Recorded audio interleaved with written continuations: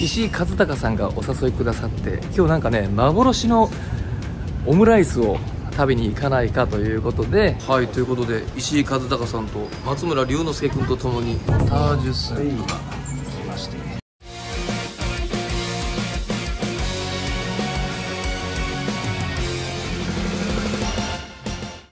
皆さんどうもです。松田です、えー今僕はですね京都のこのね木屋町を歩いておりましてこれは高瀬川ですね。はい。で今これからどこに行くかと言いますと今僕ね実はあの京都で南座でですね星列車で行こうという舞台の本番に立ってるんですけれどもこの、まあ、星列車で行こうのねあの共演の皆さんというかあの車掌のね石井和孝さんがお誘いくださって今日なんかね幻のオムライスを食べに行かないかということで、えー今そのオムライス屋さんに向かっています。まあねあのオムライス屋さんまっすぐ行っちゃうともうすぐ着いちゃうぐらいの距離なのでせっかくなんであの京都にいるということで鴨川ですよね。僕の大好きな鴨川もう本当に学生時代いつもここにいたような自分の青春時代のね何ページに当たるんだろうというぐらい本当にねあのあの頃ここで楽しいことも悲しいこともなんかねあの将来のことを決断したりとかもいろんな瞬間にねこの鴨川でいろんな感情の動きがありました。南座っていうのは鴨川にかかる四条大橋のたもとにあるんですけれどもそのね南座に主要キャストの一人として立たせていただいているんだということがねすごく不思議な感じに実はなってます。でこれ今ね俺の後ろに見えてるのが三条大橋。で今日はねちょっと雲が多いんですけれどもここ本当に美しい場所でいつもね朝僕はあえてねこの三条大橋から四条の方に抜けて劇場に行ったりとかします。で今ねちょっと見えないかな。うん、なんか先っちょだけ見えてる。ここに先っちょだけ見えてるのが実は南座ですね。これは本当に僕の青春の思い出。鴨川です。もうね京都といえばの鴨川なんですけれどももうあの当時と比べて今はね海外の人がたくさんいてもう等間隔にこう人が座ってるなんていうねことで本にもな書かれたりとかしてたんですけど等間隔で座ってる皆さんはねもう今は海外の人が結構増えてます。なのでね本当に知ってるあのままの鴨川かというとちょっと違うんですけれどもこれはこれでねすごく素敵だなっていう思いで、えー見ています。なのでねもう本当にこの海外の人がねあの、まあ、京都をすごい好きでいてくださってることがまずそもそもなんかねあの京都で学生時代を送ったものとしてすごく嬉しいですし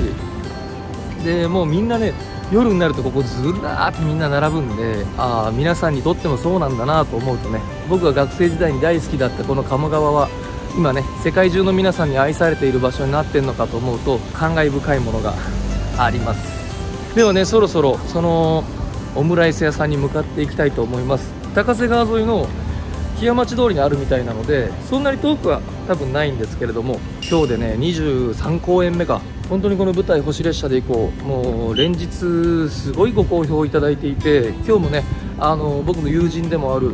あの占い師のねアポロン山崎さんという方が関西にいるんで見に行きますなんて言ってくださって見てくださったんですけどもう本当に感動したっていう風にねあのおっしゃってくれてで一緒にカフェに行ってお話もしたんですけどあのアポロンさんがですよ泣いたらしいんですよね。純情なとこあるんですねっつったら。爆笑してましたけどまたガットイン TV で怒らなあかんっつって言ってましたけどね。あのアポロン山崎さんが感激して泣いてくれたっていうのが泣くような作品じゃないっていう意味じゃなくてね。なんかアポロンさんが泣くって多分あの人いろんなもの見てるんでちょっとやそっとではきっとねその感動して泣いたりとか多分しないと思うんですよ。っていう目線で見るとすごいなと思ってえー、泣いたんだと思ってなんかねうん一言みたいになんかえー、そうなんだ嬉しいなっていう感じ。うんなんかみんなでね頑張って作ってるものがしっかりとこう評価された瞬間というかなんかねあのーもちろんお客様の反応ってあるんですけどお客様の反応って別にこうステージ上からあ泣いてるわとかそこまで見えないんでだからねなんか嬉しかったですね。友人がそういう風にねあのあれはすごいわこれはすごいわって言ってくれるということがすごい嬉しいなというふうな思いで聞いていました。はい。ということでね今もう場所に着いちゃいましたね。ここにまだねもうちょっと10分15分後ぐらいに待ち合わせてるんですけどこれだな。キチキチ。まだね待ち合わせまでもう少し時間があるのでここだここだ。これこれ。おしゃれな看板ですね。ああオムライスで世界をハッピーにって書いてます。こんな感じ。ということでもうね場所は分かったんであとはね同行者を待つことにします。もう予約を取ってるみたいなのでで中もね映像を撮っていいということなので今日はこのまま中の映像をみんなにお届けしようかなというふうに思って、えー、カメラを回しております。ちょっとまあみんな来るまでね高瀬川でも行きましょうか。これが高瀬川です。なんかねこの辺って本当なんかエモーショナルというか俺が学生時代にもうほんと短い間だけアルバイトをしていたバーとかがねもうすぐそこに実はあるんですよ。ちょっと行ったとこなんですけど5分ぐらい行ったとこかな。そう。なのでねなんかもう本当に、ま、一言京都に来てるって言ってもなんか僕の中ではね結構この思い出の地巡りみたいなのがあってなんかあの青春時代を本当に彩ってくれたありとあらゆる要素がねこの京都の街にあるのでなんかそういう意味でもねすごく特別な今回の京都のね巡業になっています。もうねかれこれ1ヶ月近い滞在になるんでもう本当にねなんか変な感じなんですけどもうずっと京都だなーって朝起きてもね夜寝るのも京都だしあの学生時代に戻ったみたいにゆっくりと京都のねいろんなところを歩いて見ているのですごく有意義な京都巡業になっています、まあ、この後ね名古屋に行くんですけれども名古屋とかはねやっぱりその俺の青春時代の思い出とかは特にないので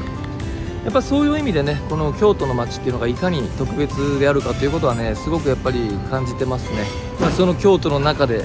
これからねまあ本当世界中からお客さんが来るもう今もね海外の人しか並んでなかったですよ世界中からもうお客さんがもう引く手あまたのオムライスをねこれから食べたいと思いますんで行ってきたいと思いますはいということで石井和孝さんと松村龍之介君とともにキチキチへやってまいりました。有名な。ええ日本で一番有名なオムライスね。あります。奈々さんとキチキチガールご主人。ああ、ジュース。まして。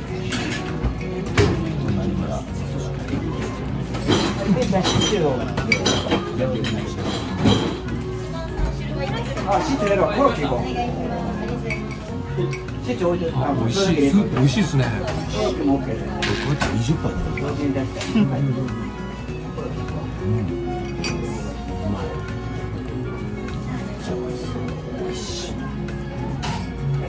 超控えめな上品な味ですねうん